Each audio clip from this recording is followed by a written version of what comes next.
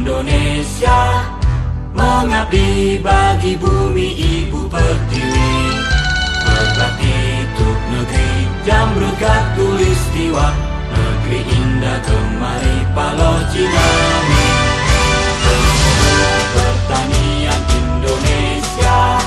Beriman dan bertakwa di dalam kasa Menjadi mitra petani